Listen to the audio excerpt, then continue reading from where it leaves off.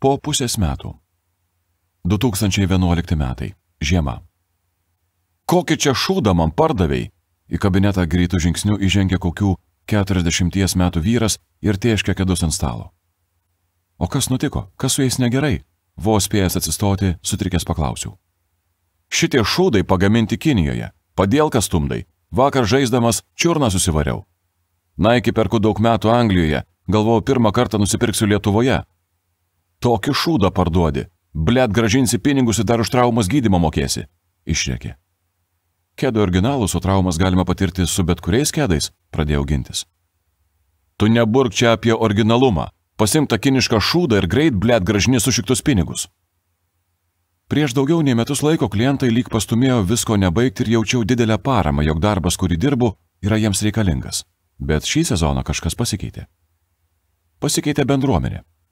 Bendruomeniai besiplečiant, jos gretas patenka vis daugiau žmonių, kurie yra tiesiog pirkėjai, kurie perka prekę ir mano, jog daro didelę paslaugą pardavėjui ir dėl to pradeda jausti didelę galę. Jaučiasi galingi, meta prekę į pardavėją ant stalo ar ant žemės. Klientas, kuris dabar rėkia, keikėsi, grasina ir bet kaip stengiasi pažeminti, vos prieš kelias dienas įsigijo šios batus ir jam net pritaikiau papildomą nuolaidą, nes jis buvo malonus ir savo apsilankimu suteikė man gerų emocijų. Dabar tas pats klientas stovi vėl prieš mane toje pačioje vietoje, tik be šypsenos, o iš įsičio net seilės drimba tarsi pitbuliui. Jaučiuosi kaip filme, kuomet viskas aplink sulėtėja, viskas nutyla, o pats mastau, kas negerai, ką aš čia veikiu ir kodėl turėčiau klausyti jo rekimo. Tai nesibaigs, kol negražinsiu pinigų ir nesvarbu, jog įsigijo kokybišką ir gerą prekę. Tiesiog nėra prasmės įrodinėti savo tiesų ir bijoti, kad neteitų kuris nors kitas klientas ir nepamatytų tokio vaizdo. Ką jis pagalvotų? Net jei ir būtų nusiteikęs pozityviai, tačiau girdėtų tai, ką jis rėkia, gal viduje bent šiek tiek irgi suabejotų mano patikimumu. Paprastai, kuomet pasitaiko panašios situacijos ir tik kyla emocijos, sutinku gražinti pinigus su sąlyga, jog jis daugiau čia nebepirks. Visi su tuo sutinka, visi pasiima pinigus. Šiam klientui siūlyti, kad pas mane daugiau nepirktų, nėra net prasmės, jį tikrai atsiminsiu, todėl gražinau pinigus. Duris trinkteli ir viskas baigėsi. Sudrimbu į kėdę. Nors viskas nesitėsi ilgiau nei 10 minučių, tačiau po tokių dalykų prastai jaučiuosi visą likusią dieną. Internete komentarus tikrinu dar keletą dienų, bijodamas, kad kur nors mane iškeiks taip pat, kaip ir iškeikė atėjęs čia. Nerimo būsena tapo beveik kasdieninė palidove. Vis dažniau pastebiu, jog net ir atėjus gerai nusiteikusiam klientui, po tokių įvykių nebegaliu nei šipsotis, nei nuoširdžiai patarti ar papasakoti apie prekes. Dabar tu šipsaisi, o galbūt už kelių dienų pamatysiu visai kitokį tavo veidą. Tai nėra profesionalu ir galbūt taip nebūtų, jei dirbčiau kam nors kitam. Tuomet tai galėčiau priimti kaip vieną iš darbo sudedamųjų. Pas visus būna įvairių klientų, bet kuomet dirbu savo, kiekvieną dieną atiduodu visą save ir tikiu, jog kuriu kai ką svarbaus, visą tai priimu asmeniškai ir to negaliu pamiršti. Kad pasijausčiau geriau ir kad nereikėtų išmesti gražinamų prekių, kurios dar tinka tolimesniam nešiojimui, pradėjau skelbti, jog sunkiai besiverčiantis galėtų ateiti ir juos pasimti nemokamai. Tai tapo atsvara piktiems pirkėjams ir ši labdara pasidarė svarbesnė man nei tiems, kurie tuos kėdus gauna. Išdalinės nemažai batų pastebėjau, jog atsirado tokių, kuriems tai tapo lik atskiras versliukas ir tuos batus pradėjo perpardavinėti. Nenorėjau to matyti. Tai tapo tik dar vienas detektyvas, ar tam, kuris atėjo tikrai nuoširdžiai tų kėdų reikia. Detektyvų užteko ir taip. Tad pamaniau, jog padovanosiu vietiniai krepšinio mokyklai ir pati mokykla žinos, kuriems krepšininkams labiausiai jų reikia. Nusiuntęs laišką, kuriame parašiau, jog noriu padovanoti batus mokyklos auklėtiniams, gavau direktorės atsakymą, jog jie norėtų žinoti, kokią sumą planuoju skirti paramai, jei noriu, kad jie dalintų kėdus. Noriu dovanoti batus jų mokykloje besimokantiems vaikams, o jie šneka apie paramą. Nieko neatsakiau. Visus kėdus pradėjau nešti prie konteinerių. Ten jie tikrai yra savo antrą gyvenimą. Praėjus geram pusvalandžiui po klientų apsilankimo, mintis vis dar skraido ir niekaip negaliu susikaupti. Širdies ritmas nurimo, įtampa taip pat, bet viduje kaip prišikta. Sėdžiu sudribęs kėdėje, beveik atsigulęs. Iš postalo kyšo tik galva ir rankos padėtos prie klaviatūros. Žiūriu į monitorių, turiu neužbaigtų darbų, tačiau niekaip nebesusikaupiu. Pardavimai nesustojo ir daugiau nei padvigubėjo lyginant su ankstesniais metais. Kad pardavimai auktų, reikia daugiau prekių. Norėdamas viską suspėti, darbe pradėjau leisti kiekvieną dieną. Skirtumas nuo gyvenimo biure pačioje pradžioje ir dabar - laisvė. Laisvės turėjau daug, galėjau skirti mintis tam, kaip ką nors patobulinti, kaip padaryti geriau ir įdomiau. Dabar pradėjo atsirasti rėmai ir ribos. Nebeturiu laisvalaikio, niekur neišvažiuoju ir darbę dažniausiai praleidžiu nuo ryto iki vidurnakčio. Ir tai beveik kiekvieną dieną. Dienomis, kuomet namo grįžtu 8 ar 9 val. vakaro, nebežinau, ką daryti, nes persikėjo jausmas, kad kažko nepadariau ir niekaip negaliu atsipalaiduoti. Kaip viskas užkniso! Surekiau pats savo ir pagriebęs dar vis ant stalo stovinčius gražintus kėdus, iš visų jėgų nežiūrėdamas kur, numečiau juos tolyn, bet pataikiau į kabinete stovinčias kėdų dėžutės, kurios kaip domino kaladėlės sugriuvo į visas puses. Tas griuvimas sukėlė dar didesnį neviltį, juk niekas kitas nesutvarkys, niekam nepasakysiu, sutvarkyk. Atėmė už savęs dar papildomas minutės. Trumpinau gyvenimą sėdėdama šitame kabinete, kažką bandydamas daryti, bet klientas, kuriam netiko nusipirkta prekė, atėjęs išsirekė, pats išsikrovė, pasėmė pinigus ir išėjo. Aš likau sėdėti. Turėčiau tai primti kaip darbo kasdienybę, bet ar tai darbas? Jei tai darbas, tai dėl ko? Dėl tokių? Velniopijos. Bet jų daugėja, vis dažniau taip atsitinka.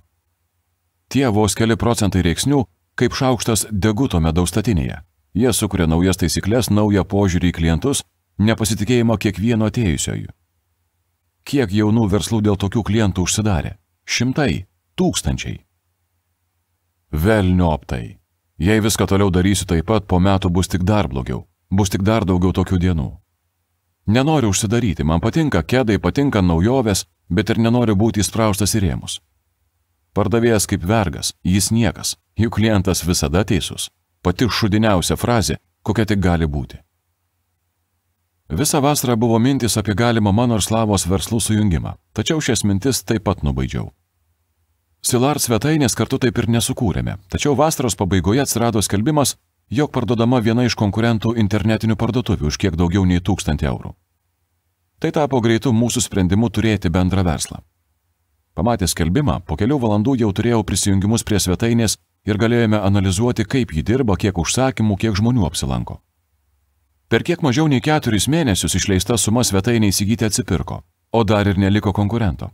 Tačiau darbas su Slavo pasirodė sudėtingas. Pastebėjau, jog jis šneka daug daugiau nei daro. Beveik kiekvienas rytas prasideda Slavos žinute. Reikia jungtis, daryti porą realių parduotuvių, kelti pardavimus dabar esančių svetainių, ieškoti daugiau klientų kitose šalise. Kuo daugiau tai prašė, tuo labiau pradėjau nepasitikėti, o po mano klausimo, kodėl nesprendžia savo esminių problemų dėl legalumo, jo atsakymas beveik kiekvieną kartą toks pat.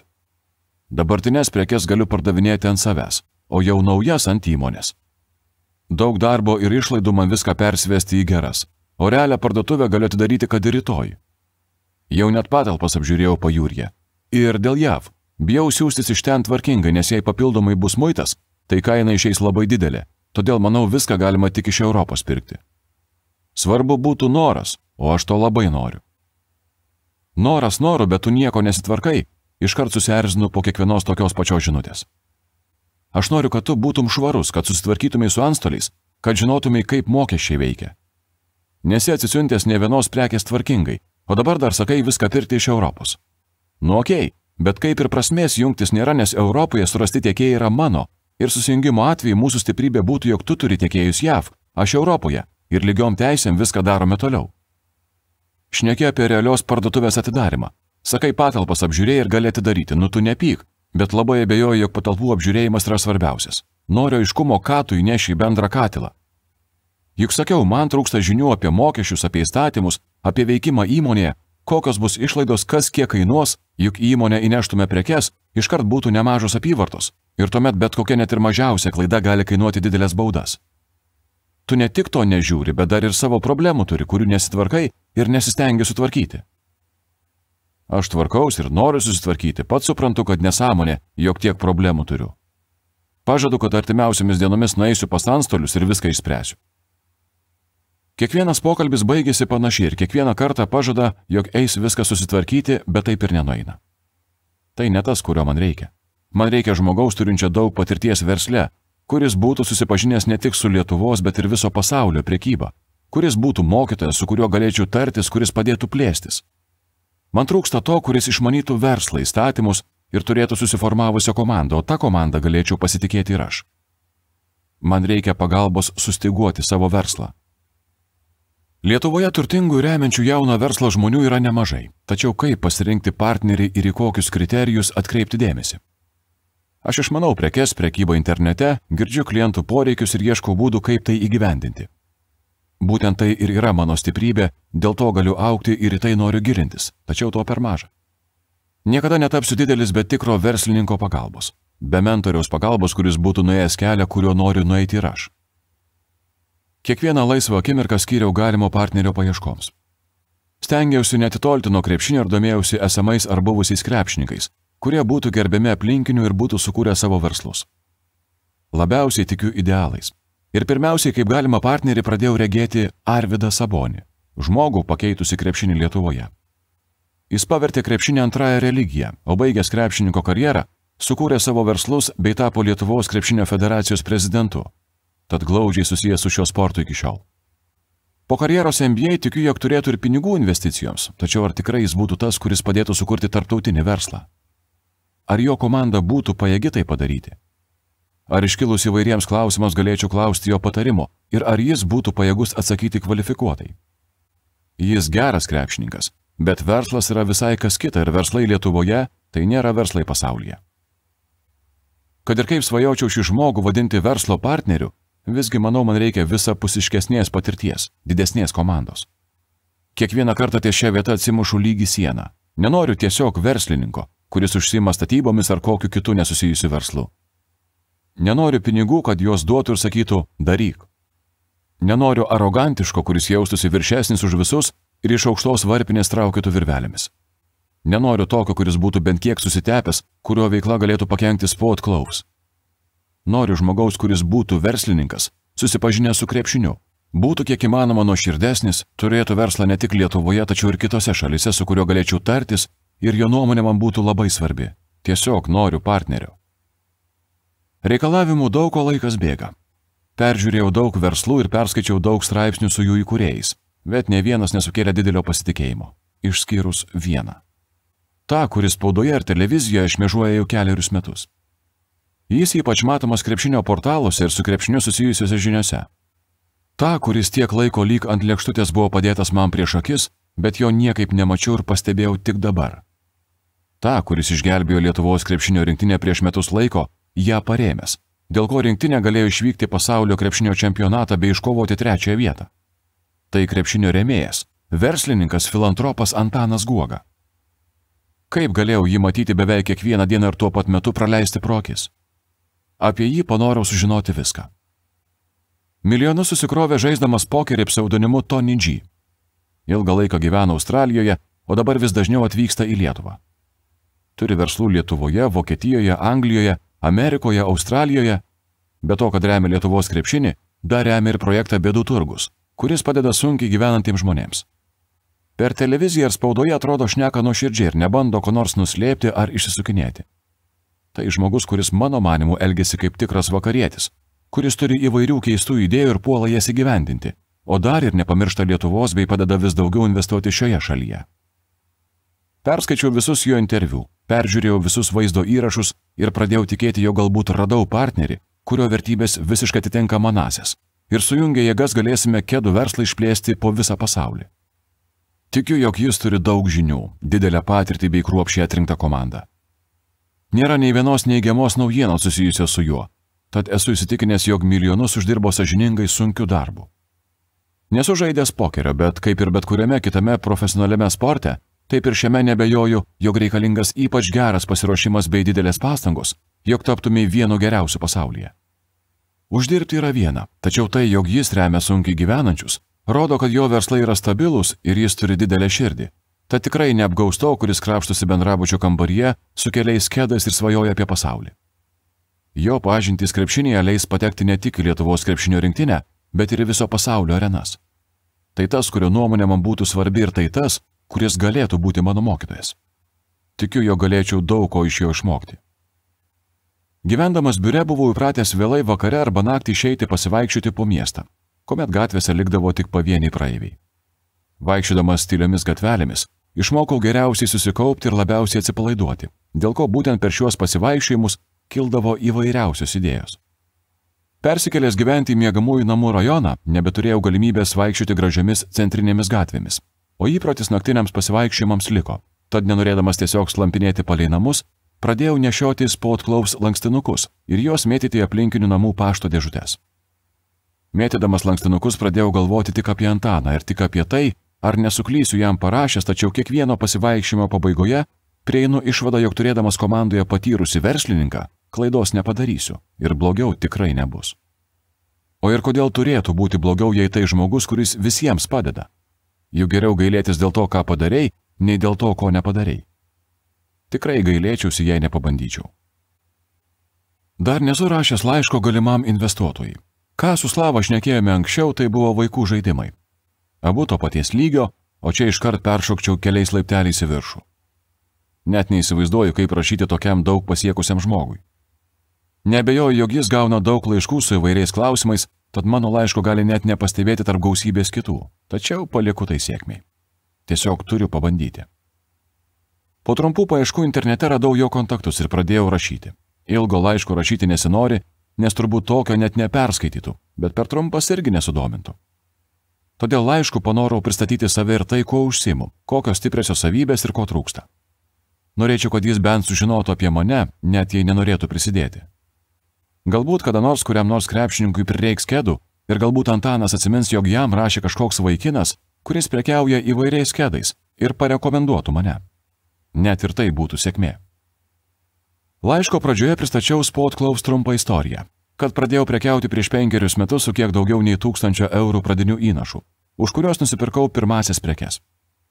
Dabar apyvarta išaugusi iki 300 tūkstančių eurų per metus ir kiekvienais metais jie auga po kelis kartus. Parašiau, jog daugiausiai prekiauju krepšinio prekėmis, bet po truputį plečiu ir kitas kategorijas. Taip pat papasakojau, jog mano tikslas plėstis už Lietuvos ribų, o iki šios dienos jau esu išsiuntęs prekių daugiau nei 60 pasaulio šalių. Vėliau išvardinau problemas ir siekius. Laiško norėjusi dar trumpesnio, bet visgi skaitydamas kokį 50 kartą, nenutokiu, kaip dar galėčiau sutrumpinti. Bet tikiuosi, jog perskaitys viską. Liko paspausti mygtuką siūsti.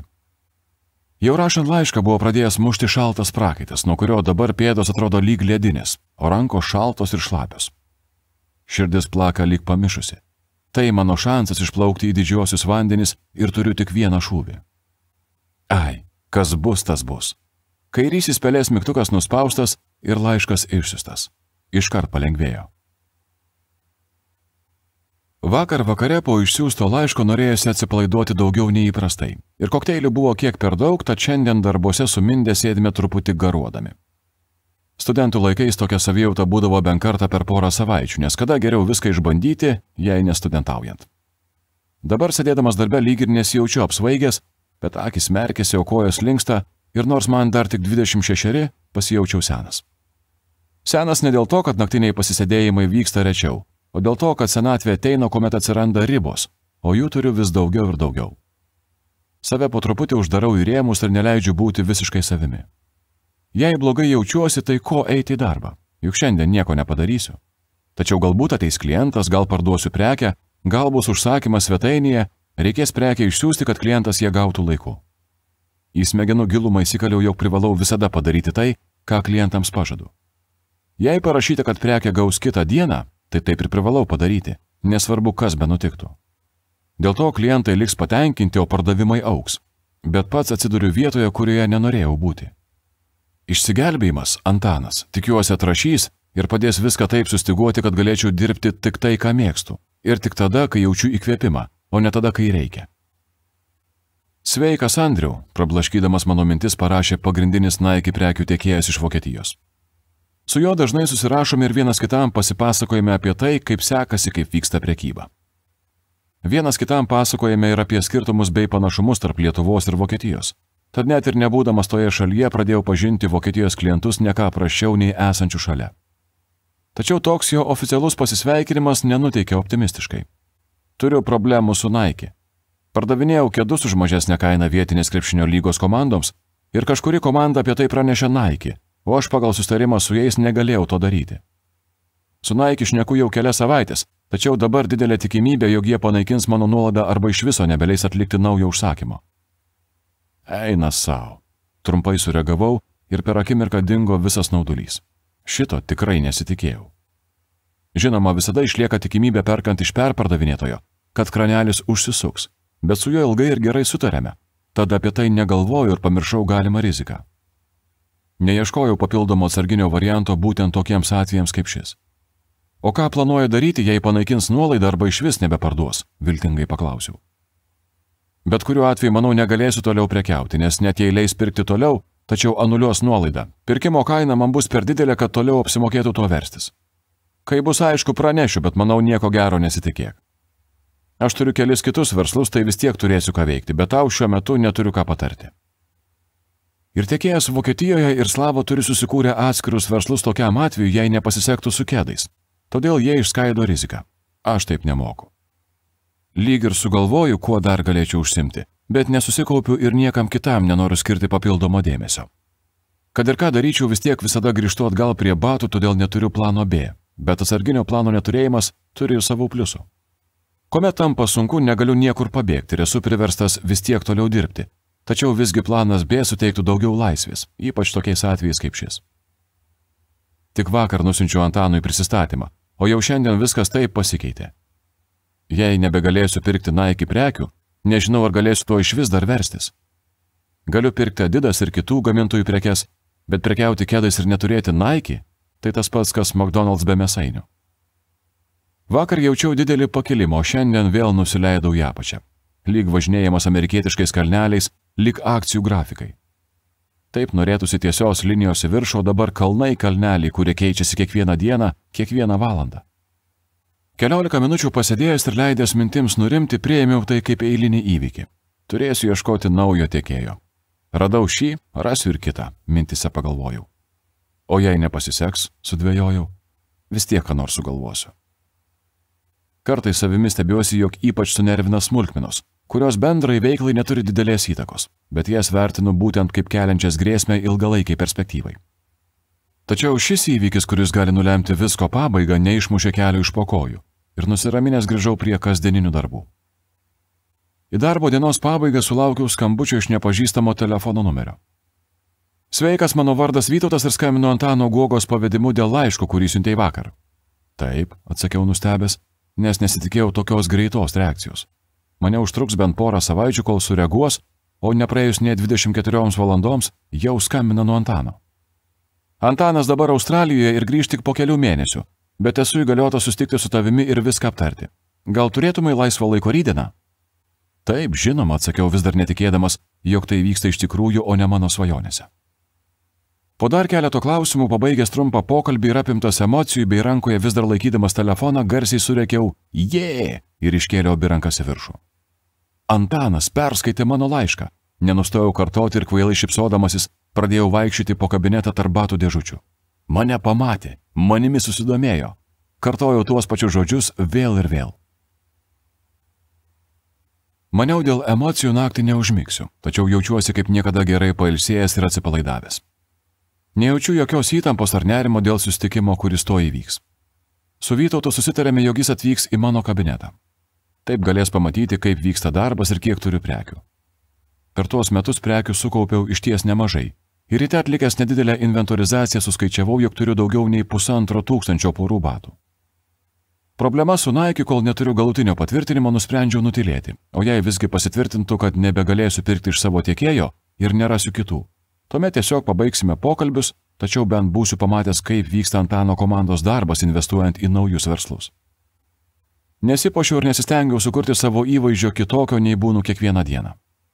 Pastebiu, kad vis daugiau sėkmingų žmonių pasaulyje nesistengia kiekvienai pasitaikiusiai progai rengtis kostiumo ar ką nors bandyti sužavėti prabangiais aksesuarais. Jie rengiasi taip, kad patys jaustųsi gerai ir taip per rūbus supažindina su savo kasdienybė, sukuria savo išskirtinį įvaizdį. Manau, jei kuriu dėl savęs ir savo pomėgių, tai kam save sprausti į rėmus ir stengtis atrodyti kitaip, net jei tai galbūt susitikimas, kuris pakeis visą mano gyvenimą. Net jei tai gali pakeisti gyvenimą, tai tuo labiau jis turi mane pamatyti tokiu, koks esu kiekvieną dieną. Kadangi kasdien dirbu sandėlyje, tad ir kiekvienos dienos apranga yra laisva ir neįpareigojanti. Po kelių minučių keli bumtelėjimo į duris ir į kabinetą įėjo vos keliariais metais už mane vyresnis vyras. Jį jau buvau pagūglinęs ir žinojau, kaip atrodys. Tamsus plaukai, apvalus veidas, kelių dienų barzda ir stambesnis nei vidutinis kūno sudėjimas. Sveikas, tu turbūt būsi Andrius. Aš Vytautas. Eidamas tvirtų žingsnių pasisveikino bei iš toli pradėjo tiesti ranką, kad paspaustų. Jo šypsena pralaužė ledus ir greitai užsimesgė pokalbis. Nors ir jaučiau, kad jis stebi kiekvieną detalę aplink, kiekvieną žodį bei visą tai perduos Antanui, tačiau pokalbis lengvas ir be didesnės įtampos. Kaip ir su klientais, nesistengiu parduoti prekių, noriu, kad pats klientas nuspręstų, ar jam jos reikia, tad ir šiuo atveju pasirinkau šnekėti taip pat. Tiesiog papasakoju apie tai, ką veikiu, kaip vyksta užsakymai, kokios problemos ir kokie malonumai. O tu turi viziją, kuo ir kaip savo resursais Antanas galėtų padėti. Sėdėdamas kitoje stalo pusėje ir vieną ranką pasirėmęs makrą paklausė Vytautas. Neįsivaizduoju, kaip vyksta partnerio prisijungimas prie verslo, nusišypsojau. Mano stiprybė yra prekių išmanimas ir tai, jo kuriu lyg ir savo, bet kartu tai įdomu ir kitiems. Dėl to domėdamasis, kas man patinka, randu vis naujas rytis, kaip pritraukti naujus klientus. Tačiau kaip laiške vardinau problemas, man trūksta daug žinių. Nenutokiu, kaip valdyti patį verslą. Nemoku suorganizuoti darbo, bijau pasamdyti darbuotojus, kad ko nors nepridarytų, neturiu net ir vietos, kur tie darbuotojai galėtų dirbti. Neturiu žinių ir pinigų plėstis užsienyje bei atidaryti parduotuvės Lietuvoje. Neturiu teisinių žinių. Dabar, pavyzdžiui, skolingi keli krepšinio klubai. Iš pradžių gražiai prašo mokėjimo atidėjimo, o paskui dinksta ir net į skambučius nebeatsiliepia. Už jų įgytas prekes turiu sumokėti tiekėjams, o pinigus iš klubų sunkiai sekasi atgauti. Čia tik pavyzdžiai, bet noriu žmogaus, kuris patartų, kuris padėtų ir iš kurio galėčiau mokytis. Išvardinau pagrindinės priežastis, dėl ko kreipiausi į Antaną. Verslų Antanas turi daug, tad ir patirties sukaupęs įvairios, kurią, manau, galėtų pasidalinti ir su tavimi. Tačiau be šių žinių ar tu įsivaizduoji, kiek papildomų investicijų reikėtų? Mes kalbame apie tūkstančius ar šimtus tūkstančių. Vytautas pasuko galvą link prekių, lyg norėdamas jas įvertinti. Šiemet apyvarta siekia 300 tūkstančių eurų, Kitais metais turėtų būti daugiau nei 6 ar 700 tūkstančių eurų. Verslo plano nesu parengęs, nes tikrai neįsivaizduoju, kiek visiems planams įgyvendinti reikės pinigų. Aš neįsivaizduoju net kaip tą sumą įvardyti, man dabar pinigų nereikia, sąskaitas apmokau laiku, tad ir tas vertinimas pinigais gali būti įnešimas dalimis, kuomet reikės kur nors investuoti, stebėdamas Vytautą šnekėjau toliau. Antaną įsivaizduoju kaip užnugarį, kuris padėtų išspręsti įvairias problemas ne tik su pinigais, tačiau ir su savo patirtimi bei žiniomis plečiant verslą į kitas šalis. Antanas tikrai galėtų padėti su Vokietija ir Australija, jis ten turi verslų. Tai šiuose vietose būtų labai paprasta ir manau, dėl kitų šalių taip pat nekiltų problemų, bet apie tai jau su juo galės išnekėti. O dėl parduotuvės Kaune, ar įsivaizduoji, kokios norėtumai? Kokio dydžio ar kurioje vietoje? Manau, bet kokia būtų geriau nei tai, jog dabar klientai ateina pas mane į bendrabučio kambarį, nusijokiau. Bet žinoma, labiausiai norėčiau parduotuvės laisvės alėjoje. Didelės nereikia, įsivaizduoju mažą parduotuvėlę butik stiliaus, iki kokių šimto kvadratinių metrų dydžio. O prie laisvės alėjos netinka, pavyzdžiui, Putvinskio gatvė. Lygiai greti su laisvės alėja tik už dviejų gatvių. Ten esančiame pastate Antanas turi nenaudojamas patalpas, tad juose galėtume įrengti savo parduotuvę. Manau, tiktų reikėtų apžiūrėti, šipsodamasis atsakiau. O klausyk, tu viską pradėjai su tūkstančio eurų kapitalu ir dabar per metus suprekiauju už 300 tūkstančių eurų? Nustebęs paklausė Vytautas. Na taip, linktelėjau galvą. Turėjau paėmęs pragyvenimui skirtą paskolą iš universiteto, bet labai norėjau iš JAV esančios parduotuvės nusipirkti savo kėdus.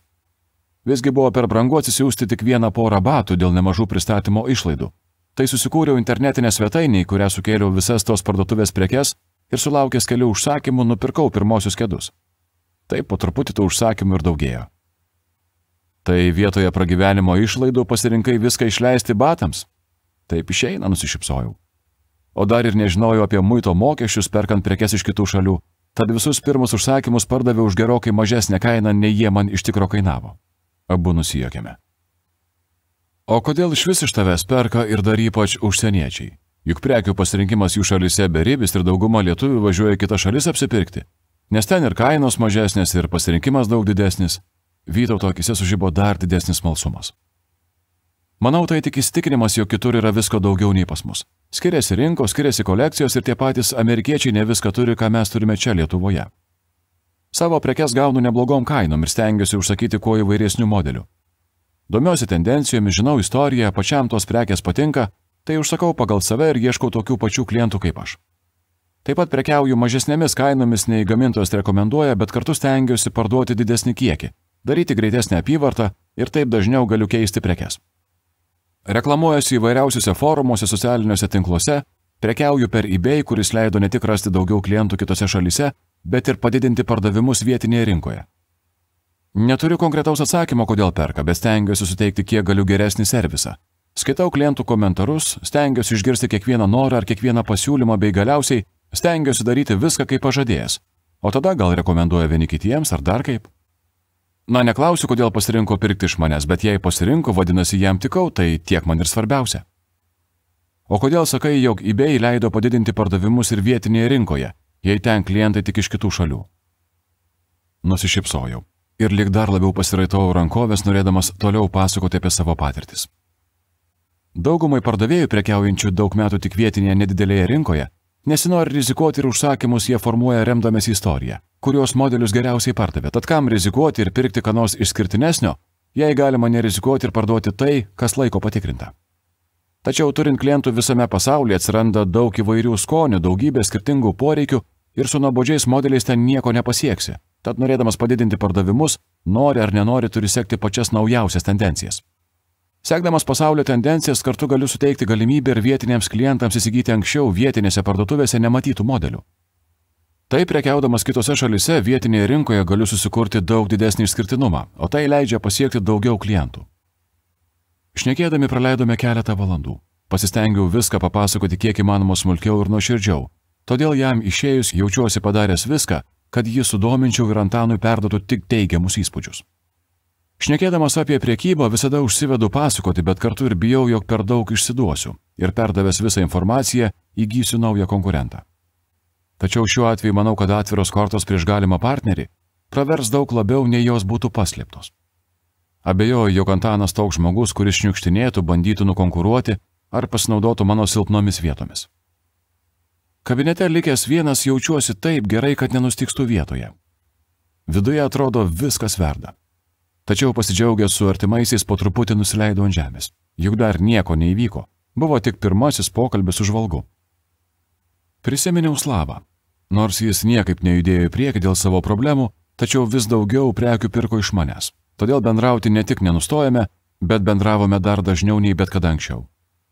Tarėmės, kurie modeliai gerai ir prastai perkami, sekėme tendencijas ir atmetus nesutarimus dėl priežasčių, kodėl nesijungėme, vis tiek dažni pokalbiai jam leido suprasti, kad mūsų verslų susijungimas tik laiko klausimas.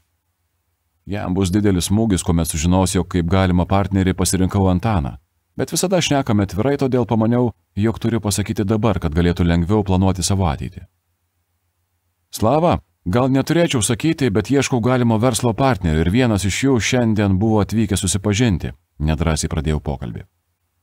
Aišku, po ilgesnės pauzės nutėsi. Jo, galinga naujiena, liūdna ir bent jau man nieko gero nežadanti. Tai tik susitikimas, niekas nenuspręsta. Sunkiai abu renkame žodžius ir pokalbėje atsirado daug tylos pauzių. Nors ir žinojau, kad jį tai nustebins, bet kažkodėl tikėjausi, jog gal suvaidins ir apsimes maždaug, o kaip kietai sveikinu, kartais norisi melo. Po tokių žinių jaučiuosi kaip sužeistas. Nors tave visiškai suprantu, bet apie mūsų verslų sujungimo kalbos ir būti nebegali, vildamasis paklausė. Tai kad nesitvarkai savo problemų, pakėliau balso toną. Nenoriu laukti amžinybę, o man reikia žmonių, kurie padėtų viską sustiguoti, kad tai taptų tikrų verslu, ne mano vieno užsiemimu. Man atsibodo daryti klaidas ir viską patirti savo kailiu. Rizikuoti visais pinigais, man įdomu kėdai, bet nekenčiu viso popierizmo, nenoriu net galvoti apie įmonės įstatus, žmonių įdarbinimus, dokumentus ar dar vėl nei žino ką. Aš tam netinku, bet augdamas negaliu į tai numoti ranką ir viltis, kad kažkaip viskas išsispręs savaime.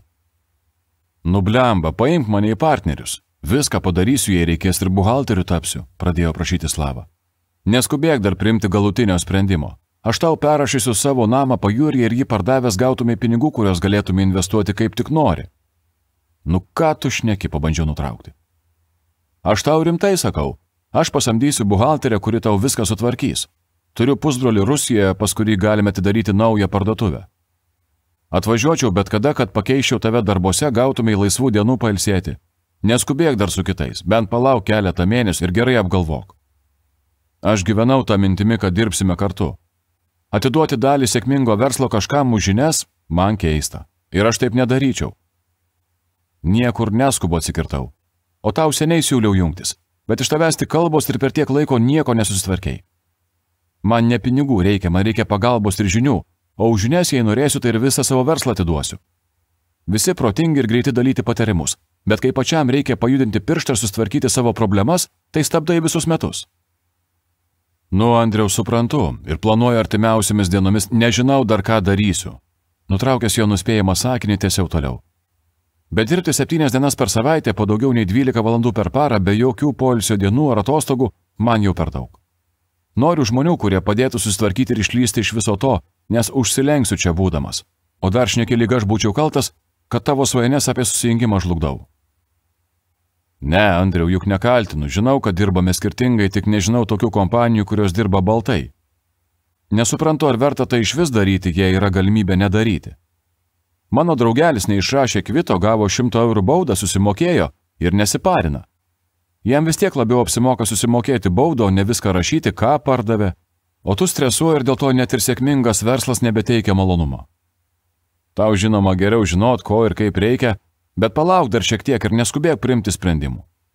Pasistengsiu sustvarkyti savo reikalus. Toks jausmas lyg savo verslą parduočiau. Pergyvenu daugiau nei tu, o su tais visais partneriais tik susipyksi ir galų gale nieko neliks. Ai, neaiškink, nei tu žinai, kiek aš pergyvenu, nei ką. Aš tik mėginu tave sulaikyti, nes tu man naparnikas. Pokalbis užtruko gerą pusvalandį ir po jo jaučiausi susierzinęs ir nusiminęs. Nežinau, kaip tinkamai elgtis. Ar tikrai teisinga atiduoti dalį viso to, ką sukūriau į nepažįstamojo rankas, net jei tai Antanas? Bet kokius dar pasirinkimus turiu? Kas man svarbiausia ir ko aš noriu? Svarbiausia - kurti ir būti laimingam. Dabar toks nesijaučiu. Kiekvieną dieną dirbu techninius darbus ir tik po kelias valandas galiu skirti svajonėms ir jų įgyvendinimui. Nebeturiu jokio hobio. Vasarą su Mindė dar paplaukiodavome ar nueidavome pasportuoti sporto klubą, bet žiemą tik miegas ir darbas. To tikrai nebenoriu. Nors ištekėjo Vokietijoje dar negavau galutinio atsakymo dėl Nike, bet pastarąsias keletą savaičių gyvenau naujo tiekėjo paieškomis. Išsintinėjau šimtus laiškų, bet kol kas tokių pačių sąlygų nepasiūlė ne vienas. Aišku, šiek tiek naivu tikėtis, jog kas nors iškart pasiūlytų geras sąlygas, bet kas ieško, tas randa. Arba šypsosi sėkmė ir to kitaip niekaip nepavadintum. Nuo vaikystės viena didžiausių svajonių buvo dirbti kartu su Nike ir kaip apsidžiaugiau prieš daugiau nei trejus metus, gavęs kvietimą atvykti pas juos į naujos kolekcijos pristatymą. Kolekcijų pristatymą įsivaizdavau taip, kaip matydavau nuotraukose įvairiose žurnaluose. Susidariau įspūdį, jog tai bus vakarėlis su išsipošusiais svečiais, lipančiais iš prabangių automobilių ir žengiančiais raudonų kilimų jiems skirtas vietas. Nenorėdamas išsiskirti iš kitų, apsirengiau juodu kostiumu, baltais marškiniais ir nors kasdien nešiojau kėdus, šiai progai neišdrisau jų apsiauti, o pasirinkau juodus klasikinius batus. Kartu vykome su penkeriais metais už mane jaunesnė sese vardu Kristė, kuri jokių būdų nenorėjo praleisti tokio pristatymo. Jie pasirinko laisvesnį stilių. Šviesų vasarišką švarkelį, kiek aukščiau kulniukų lenktas kelnes ir baltus naiki kėdus. Atrodėme kaip į aukštuomenės vakarėlį susiruošusi pora. Jo kažkas netai pradėjome galvoti dar ne prie arenos, kurioje turėjo vykti pasirodymas. Aplink buvo visiškai tylu. Nei zujančių automobilių, nei muzikos, nei praeivių, ar bet kokių kitų ženklų rodančių, jog tuo įvyks koks nors renginys. Iš toli pastebėjome tik ant langų užklijuotus Nike plakatus, o tik įžengę į vidų supratome, jog renginį įsivaizdavome gerokai pertitai. Šau nebuvo. Viduje lyg parduotuvė, tik skirta pardavėjams. Viskas labai panašu, kai buvo per susitikimą su Adidas atstove. Naujos kolekcijos prekės pagal kategorijas sudėtos į lentynas tarp kurių vaikščiodamas apsirengęs juodu kostiumu ir apsevęs klasikinius batelius jaučiausi nejaukiai. Nors ir šiaip nesu tokios aprangos mėgėjas, o einant atrodė likojos pintusi, dar kebliau pasijaučiau, kuomet prie mūsų priejo nuo galvos iki kojų vien naiki gaminiais apsirengęs, keliais centimetrais už mane aukštesnis, kokiu metru 90 šviesiais plaukais ir besišypsantis naikės atstovas Kirmantas. Visas išraudau. Nors panosimi murmėdamas atsiprašiau už aprangos pasirinkimą, bet kaltas jaučiausi prieš save. Kaip galėjau pas savo mėgstamiausią gamintoją atvykti nevilkintis ne vieno drabužio su šio gamintojo logotipu? Man tai atrodė nederama, o situaciją gelbėjo tik Kristė, kuri pasirodė didesnė šio gamintojo fanė nei aš, nes avėjo naiki batelius. Rūbo pasirinkimas iš ties buvo netinkamas ir tai neleido visiškai atsipalaiduoti. Tačiau nors jaučiau įtampą, bet visgi pirmą kartą atsidūręs tokioje vietoje, nenorėjau praleisti progos ir stengiausi pačiupinėti ar pasimatuoti kuo daugiau įvairių modelių. Nuvaikęs mintis apie tai, jog ruošiausi patekti į visai kitokią aplinką, pasijaučiau lik Homeris Simpsonas spurgų šalyje. Šokinėjau nuo vienos patikusios prekės prie kitos, kol atėjo laikas šnekėti apie kainas ir mano galimybės pirkti prekes tiesiai iš gamintojo atstovo mūsų regione. Visgi mano pardavimai skirmanto nesužavėjo ir nuolaidos negavau, o už siūlomas kainas pirkti buvo per brangu. Grįžtant į namus, Kristė stengiasi mane nuraminti ir šnekėti pozityviai, jog turiu džiaugtis, kad mane pastebėjo ir kad iš vis gavau galimybę atvykti į pristatymą. Bet aš jaučiausi, lyg duris būtų užtrenktos prieš pat nosį. Jaučiausi neįvertintas ir pykau, jog viską lemia tik sausi pardavimų skaičiai, o ne aistra ir atsidavimas pačiam gamintojui. Keletą dienų jaučiau neteisybę, kol galiausiai apsiraminau. Tai prieimiau kaip didelio gamintojo, vieno darbuotojo sukurtas taisyklės. Tai nebuvo Nike atsakymas, tai buvo Skirmanto atsakymas. Jei tai, kad gaučiau sutartį svarbu tik pardavimai, juos ir duosiu, pažadėjau savo. Tai mane motivavo kiekvieną dieną. Kiekvieną dieną norėjau padaryti ką nors naujo ir geriau nei visi kiti. Norėjau, kad Nike mane pastebėtų kuo dažniau, ir net norėdami negalėtų manęs pamiršti. O dabar praėjus daugiau nei trejiems metams, kuomet atėjo laikas, jog turiu ieškoti naujo tiekėjo, tarp daugybės gautų atsakymų iš įvairių parduotuvių ar perpardavinėtojų ir vėl radau laišką nuo Skirmanto.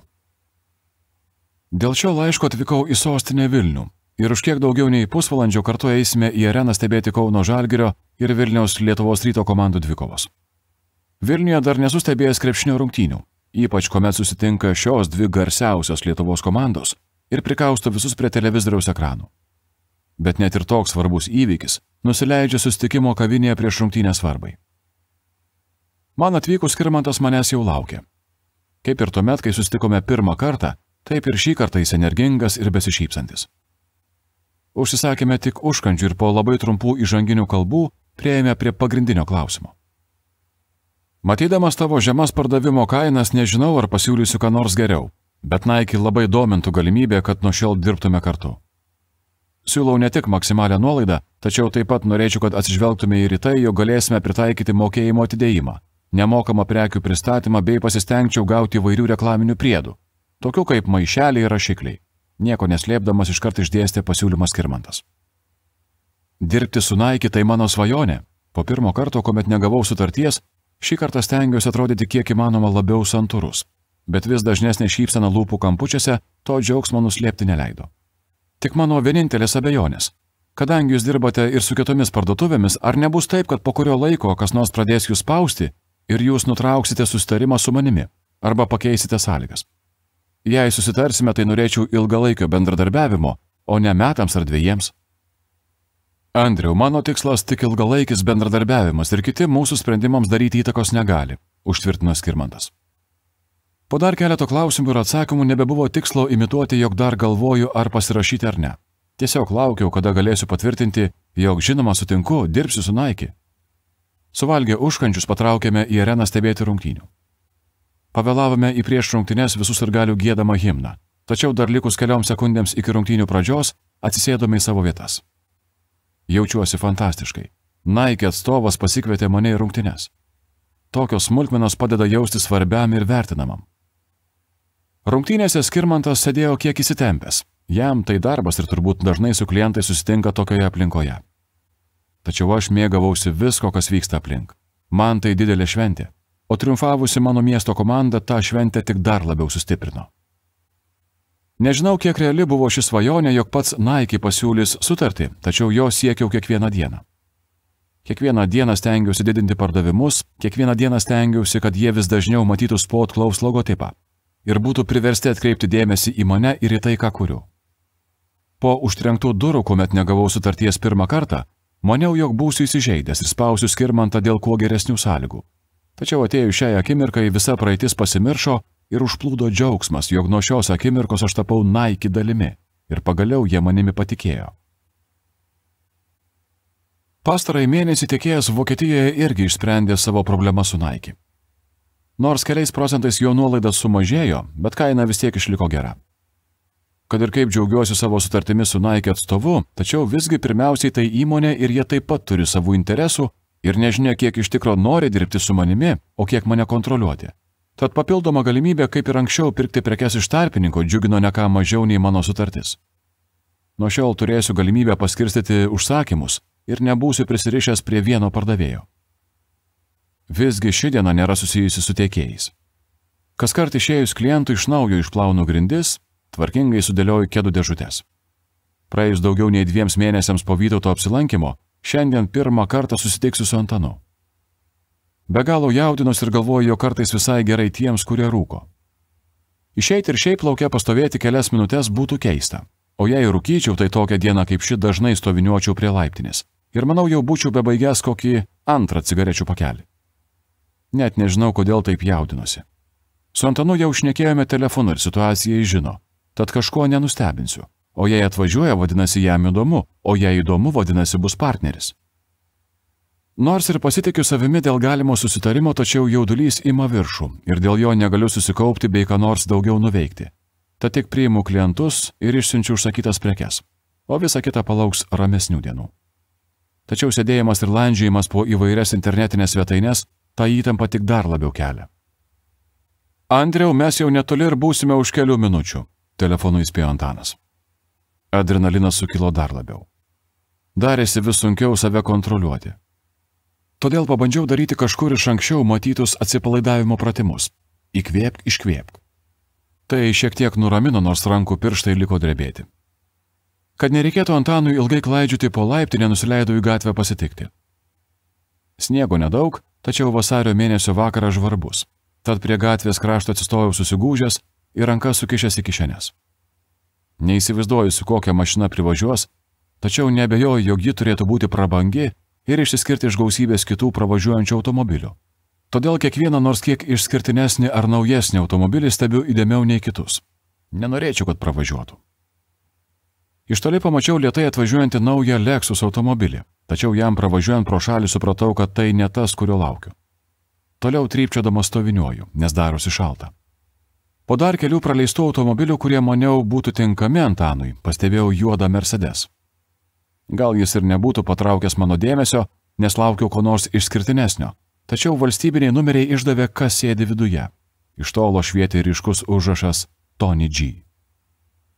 Stovėjimas laukia buvo kiek apraminęs jaudulį, tačiau dabar vėl plūstelėjo nauja banga. Kad nepravažiuotų, pakėliau ranką, lyg stabdydamas pakeleivinę mašiną. Kai po kelių akimirkų jis sustojo ant šaligatvio ir atsidarė galinės durelės, išvydau Antaną. Maniau bus gerokai žemesnis, pirmą šmėstelėjusi mintis.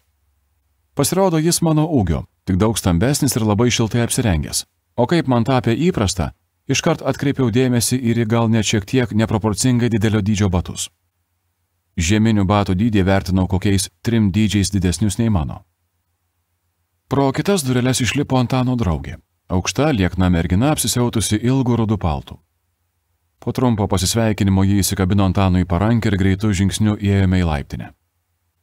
Šiek tiek nuo mūsų atsilikęs, pernelyg neskubėdamas į laiptinę įžengė ir Antano vairuotojas.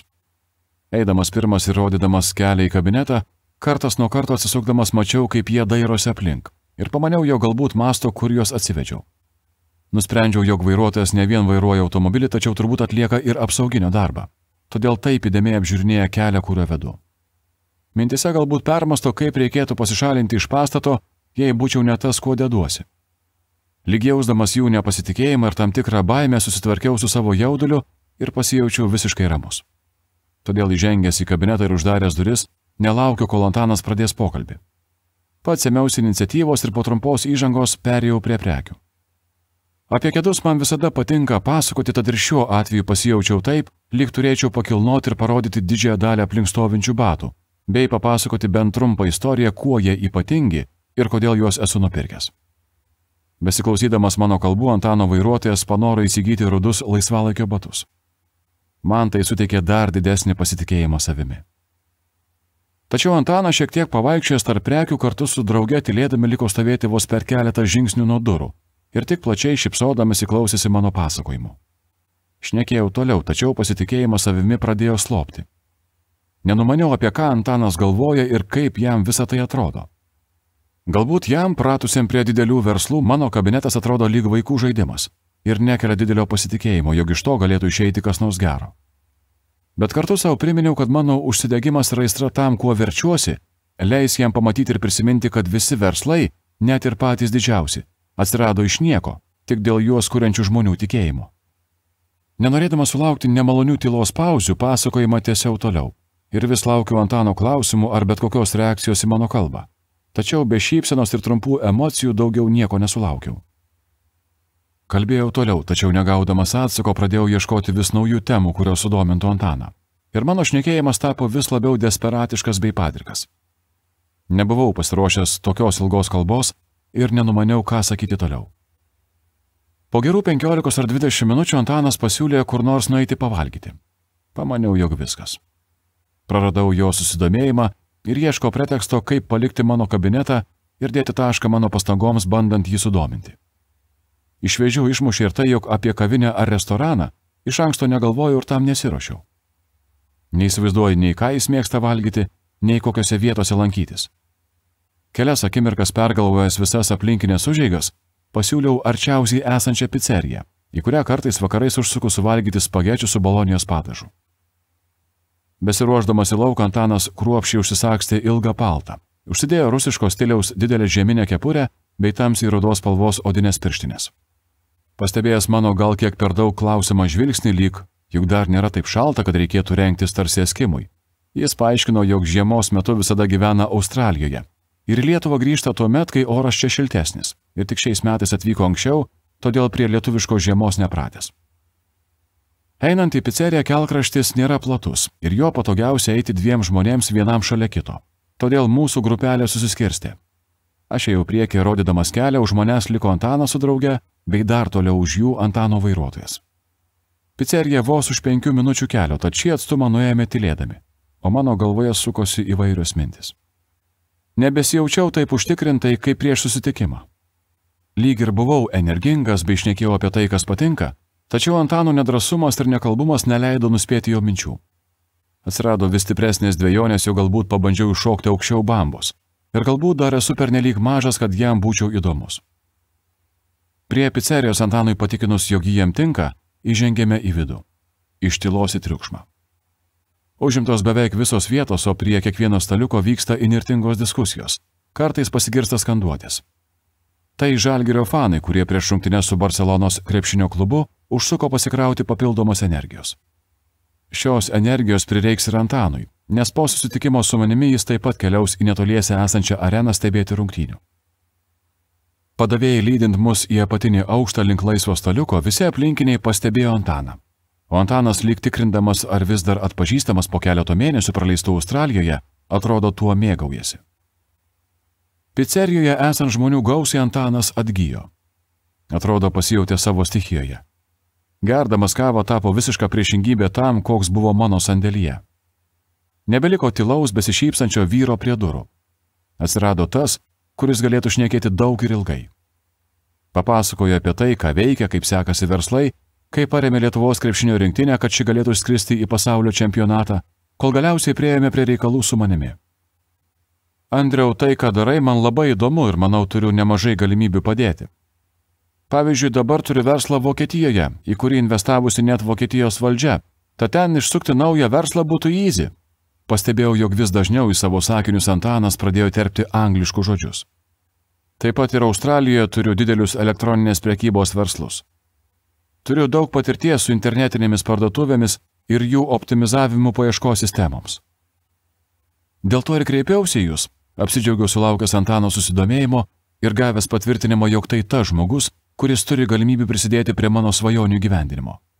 To ir noriu, kad galėtume išeiti į pasaulį, kad būtų sutvarkyta prekybos sistema, nes dabar viską darau vienas. Manau, pasiekiau savo galimybių ribas ir dėl to noriu turėti patarėją, kuris padėtų aukti ir viską sutvarkyti taip, jog visa tai taptų tikrų verslu. Tai žinoma, Verslas turi dirbti dėl tavęs, o ne tu verslui. Jei tik padėtų, galėtume naudoti ir mano vardą, kurti su Toni vardu atskirą online store. Sutarčiau su Lietuvos krepšinio federacija, kad jie visur reklamuotų. Super! Apsidžiaugiau dar labiau išgirdęs Lietuvos krepšinio federacijos pavadinimą. O jūsų vardas tikrai padėtų.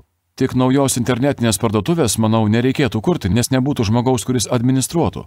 O pavadinimą galėtume pakeisti dabartinės parduotuvės.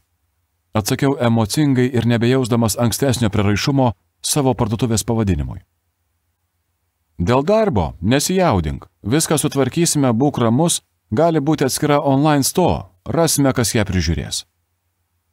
Antanai, jūs neįsivaizduojate, kaip man malonu tai girdėti. Būtent šito ir noriu, kad tokie dalykai kaip rūpinimasis, kas atliks techninį darbą, nebūtų problema. Esu individualistas ir noriu išnaudoti savo stiprybės bei dirbti tik su prekėmis ir jų pristatymu internetinėje parduotuvėje, bet nesikišti į dokumentų tvarkymą, darbuotojų paiešką ar kitus kasdieninius darbus. Jums dėl to ir parašiau, jog tikiuosi tokio patyrusio verslininko kaip jūs pagalbos, kuris ne tik padėtų sustiguoti verslą, bet ir jums pačiam, manau, bus įdomu visą tai, kas susijęs su internetinė priekyba ir krepšiniu. Be abejo, man labai įdomu ir manau, jo galiu daug padėti, dar kartą pakartojo Antanas. Tai tu viską vertini 150 tūkstančių eurų. Taip, su prekiamis. Tarp klientų žinomas Spot Klaus vardas. Perka nemažai krepšininkų ir krepšinio komandų, patogi internetinė parduotuvė, penkerių metų įdirbis, taip pat prekiauju per eBay ir tai neblogai sekasi. Vis daugiau atsiranda klientų iš užsienio, turiu sustarimą su Adidas ir neseniai susitariau su Nike. Very good. O kaip tu įsivaizduotum mūsų sustarimą? Įsivaizduoju, atidarome įmonę ir pasidaliname akcijas. Nesu prisirišęs prie akcijų kiekio, bet norėčiau turėti bent 51 procentą. Tai jei kartu darysime, tai čia būtų worldwide, o jeigu tau būtų 40 procentų, ar galėtum taip? Klausimų žvilgsnių pažiūrėjo mane Antanas. Na, nelabai norisi prarasti pagrindą. Po kiek ilgesnės pauzės atsakiau. Aš norėčiau 51 procento, bet į direktoriaus pareigas nepretenduoju. Įmonės direktoriumi galėtų būti jūsų paskirtas žmogus. Hmm, kiek nutėsi Antanas. Beveik niekada nieko nedarau, jei neturiu 51 procento, nes tuomet nieko neišeina.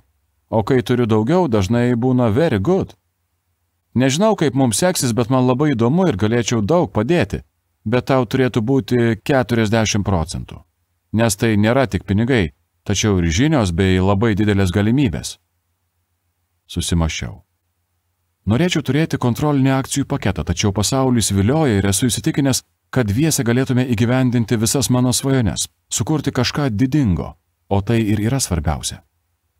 Dėl svajonę atiduočiau ir visas akcijas, dirbčiau nemokamai ir dar pats mokėčiau už tokią galimybę. O kas tos akcijos? tik kada nors būsimos išmokos. Taip pat suprantu ir Antaną, jis manęs nepažįsta, mato nedidelį sandėliuką, todėl jei jo žiniomis ir pinigais apraizgysime pasaulį, jis jausis negerai, nes iš beveik nieko bus padėjęs sukurti didžiulį verslą. Todėl 40 procentų akcijų atrodo visai geras sustarimas. Antanai, tinka man 40, patvirtinau. Tik svarbu, kad visą uždarbį investuotume atgal į įmonę ir viskas judėtų į priekį. Tai žinoma, Įmonė ne tik judės, tačiau skris, šipsodamasis pažadėjo Antanas. Iš viso to, ką darau, tiesiau toliau. Man didžiausias azartas pamatyti, koks didelis verslas gali susikurti iš nieko. Jau dabar turiu sukaupęs nemažai prekių ir jei nenorėčiau plėstis, galėčiau gan neblogai gyventi, bet to nenoriu. Noriu daugiau. Būdamas paauglys, kiekvieną dieną žaisdavau krepšinį ir svajojau kada nors patekti į NBA. Bet akivaizdu, kad šiai svajoniai neteko būti įgyvendintai, nusišypsojau. Tačiau prekiaudamas kedais tą svajonę atradau iš naujo. Ir naujoji svajonė tapo dar įdomesnė, nors ir sunkiau pasiekiama nei pirmoji. Per mano gimtadienį dažniausiai vyksta NBA žvaigždžių diena, tad mano didžiausia svajonė, kad per šių rungtinių pristatymą pranešėjas pasakytų, jog šias rungtynes pristato didžiausia pasaulyje sporto prekių parduotuvė Sport Clothes.